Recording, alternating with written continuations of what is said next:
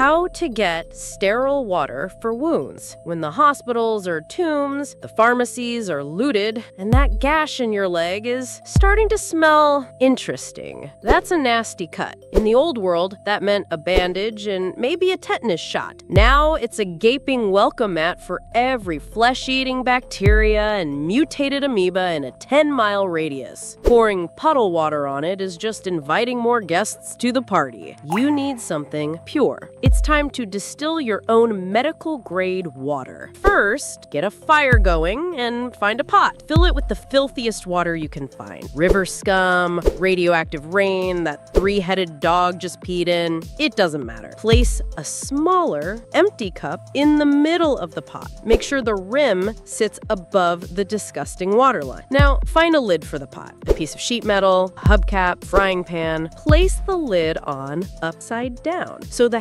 or center points points down towards the empty cup. This next part is the actual science. Subscribe if you want to understand why this isn't just a waste of a hubcap. Good. Now put something cool on top of the lid. Some snow, some rocks from a shady spot, anything. As your filth water boils, it turns to steam. The science is simple. Steam is pure H2O. It leaves the germs, the dirt, and even the heavy radioactive particles behind in the boiling pot of despair.